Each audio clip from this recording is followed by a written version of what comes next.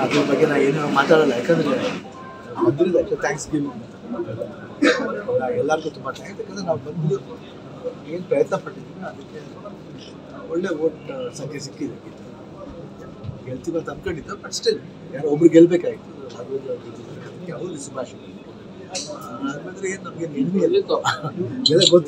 ಯಾರೋ ಒಬ್ರು ಗೆಲ್ಬೇಕಾಗಿತ್ತು ನಾವು ಒಳ್ಳೆ ಪ್ರಚಾರ ಮಾಡಿದ್ವಿ ಸಿನಿಮಾ ಇಂಡಸ್ಟ್ರಿನೂ ಕೂಡ ಬಂದಿತ್ತು. ವಿಜಯ ದುನಿಯಾ ವಿಜಯ್ ಬಂದಿದ್ರು ಚಿಕ್ಕಣ್ಣ ಸಾಕಷ್ಟು ಆರ್ಟಿಸ್ಟ್ಗಳು ಬಂದಿದ್ರು ಬಟ್ ಚೇಂಬರ್ ಬಂದಿತ್ತು.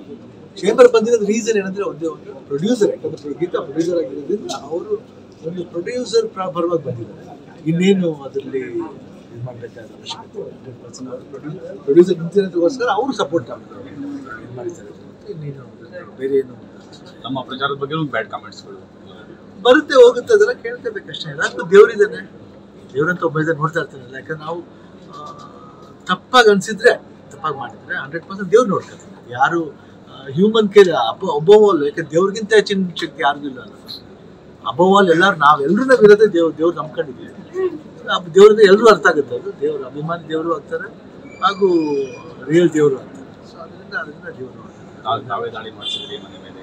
ಅದನ್ನ ನಿಮ್ಗೆ ಗೊತ್ತಿರ್ಬೇಕು ಯಾಕಂದ್ರೆ ಸುಮ್ಮನೆ ನಾವು ಇದ್ರ ಬಗ್ಗೆ ಕಮೆಂಟ್ ಮಾಡ್ತಾ ಹೋದ್ರೆ ಏನಾಗುತ್ತೆ ಇದು ಇದು ತಿರ್ಗಾ ತಿರ್ಗಾ ಒಂದೊಂದು ಆಪೋಸಿಟ್ ಬರ್ತಾ ಇರುತ್ತೆ. ಅದು ಮಾಡಕ್ಕೆ ನಾನು ಮಾತಾಡಕ್ಕೆ ಇಷ್ಟಪಡಲ್ಲ. ಯಾಕಂದ್ರೆ ಆಕ್ಟರ್ ಅಂದ್ಮೇಲೆ ಇದೇ ಇರುತ್ತೆ. ಅಭಿಮಾನಿಗಳ ಸಂಘ ಅಂತ ಇದ್ದೇ ಇರುತ್ತೆ. ಅವ್ರು ಬರ್ತಾರೆ ಅವ್ರು ಬೇಸರ ಆಗಿರುತ್ತೆ. ನಾನೇನು ಕಮೆಂಟ್ ಮಾಡಿಲ್ಲ ಇದ್ರ ಅದ್ರ ಬಗ್ಗೆ ಕಮೆಂಟು ಮಾಡಲ್ಲ. ನಡೆದಲ್ಲ ಒಂದೇ ಒಂದು ಪ್ರಶ್ನೆ ದೇವರಿದ್ದ ನೋಡಿದೆ